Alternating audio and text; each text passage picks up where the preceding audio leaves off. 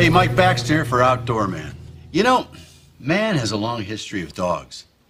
Ancient man bred these wolf hybrids to protect them when they were eating around a fire. They also used that same dog to attack other cavemen. Big, huge, burly, nasty, fast, angry animals those dogs were. We've come a long way. We went from those to this. Bred entirely to be adorable. For those of you who are affected by such things, it's great. But for me, nothing. This, no feeling right here.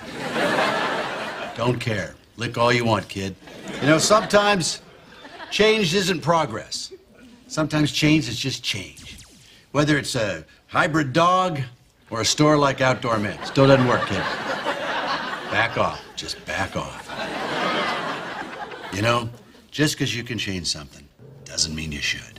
Like this Colt 45. Basically, the, the same service mechanism they designed in 1911. I would call it the other man's best friend. And all this month, we have this along with other items on sale, Outdoor Man, 40% off. So stop by, or the little guy gets it.